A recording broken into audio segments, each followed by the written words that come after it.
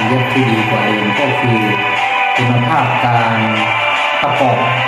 ประกอบชิ้นงานนะชิ้นการประกอบชิ้นส่วนงานก็จะดูดีมีคุณภาพและคงทนแข็งแรงถาวร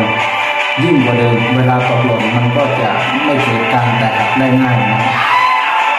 สินค้าก็จะดูดีมีคุณภาพกับวัสดุของพลาสติกมันก็จะหนายิ่งขึ้น การอัดกาวอะไรมันก็ ดูแข็งแรงมันจะมันมันจะทนทานนะครับผมมันจะทนทานยิ่งกว่าเดิมเมื่อก่อน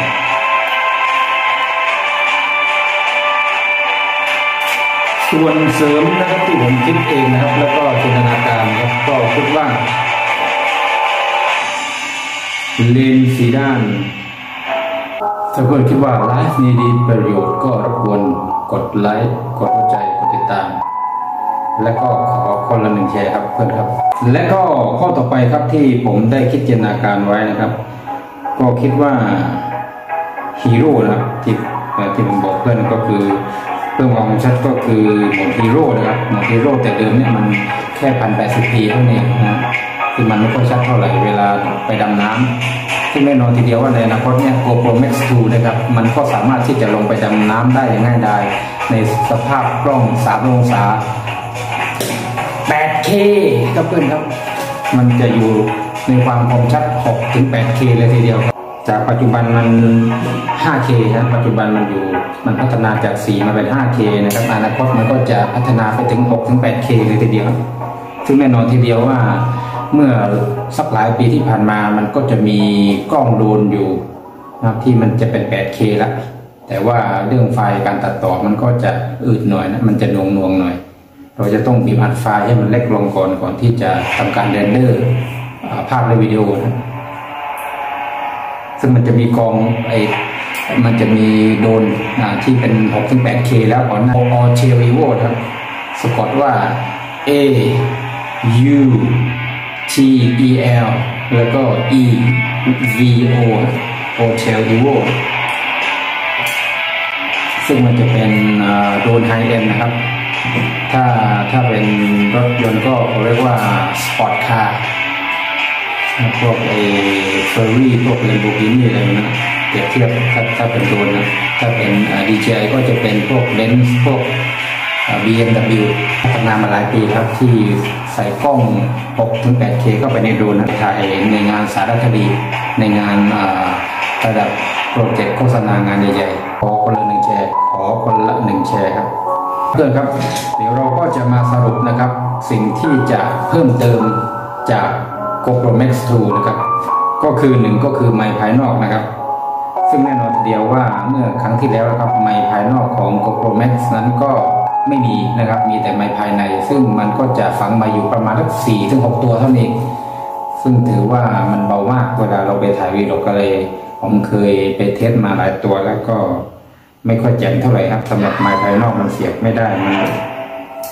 แล้วก็ความคมชัดความคมชัดของเน็ตวันก็ฮีโร่ฮีโร่มันก็แค่พันแปดสิบปีนั่นเองนะซึ่งมันก็แค่คมชัดระดับหนึ่งแต่มันก็ไม่ได้เยอะมาก แต่เมกทูเนี่ยความคมชัดมันก็จะเพิ่มขึ้นมาเป็น 6K นะครับหรืออาจจะไปถึง 8K เลยทีเดียวนะครับ แล้วก็ข้อ 3 ก็คือ GoPro Studio Desktop ซึ่งมันก็จะยัดใส่โอเวอร์เลเข้าไปโอเวอร์เลคืออะไรก็ครับโอเวอร์เลก็คือ มันจะโชว์ GPS เป็นไมล์เข็มไมล์บอกว่ากี่กิโลเมตรต่อชั่วโมงนะ เวลาเราขี่บิ๊กไบค์หรือขี่หรือขับรถก็ดีนะ หรือว่าจะเป็นการขับเครื่องบินหรือว่าเล่นกีฬาเอ็กซ์ตรีม มันก็จะจั ระยะทางความห่าง แล้วก็ความเร็วนะครับ แล้วก็ความสูง จากระดับน้ำทะเลเท่าไหร่มันก็จะบอกมดนั่นคือโอเวอร์เลย์ที่สี่ทัชสกรีนซึ่งจะเพิ่มขึ้นมาจากด้านหน้า แค่ด้านเดียวก็จะเพิ่มขึ้นมาด้านหลังด้วยเป็นสองด้านเราจะทักกันอย่างมันสะใจอย่างแน่นอน เพราะว่าเราจะหันไปด้าน หน้าหรือด้านหลังเราก็ทัชได้หมดแต่มันก็จะบอกค่าเซตติ้งอะไรที่จะแตกต่างกันนะครับฟีเจอร์ฟังก์ชันมันของแต่ละสตรีหน้าหลังจะไม่เหมือนกัน ข้อที่ห้าข้อสุดท้ายก็คือการเขาเรียกการเย็บดินสีด้านจริงแล้วกบเพื่อความสร้างความแตกต่างจาก Insta360 นะครับ GoPro ผมน่าจะมีเลนส์ด้านข้างซ้ายขวาอีกสัก สองเลนส์นะในอนาคตผมว่าเลนส์สององศามันน่าจะมีเลนส์ด้านบนด้วย แล้วก็เลนส์ด้านล่างด้วยรอบตัวเลยมันจะมันจะถ่ายพวกแอพวก VR พวกเมตาเวิร์สอะไรมันมันจะถ่ายได้งานได้ชิ้นงานได้ชัดเจนเหมือนจริงมากยิ่งขึ้นครับก็ขอบคุณเพื่อนๆนะครับที่ติดตามรับชมรับฟังกันสำหรับค่ำคืนนี้ครับ เดี๋ยวเราเจอกันใหม่ไลฟ์หน้านะครับบนสตรีมอยาก เป็นบทเรียนที่สองมาสรุปกันอีกครั้งหนึ่ง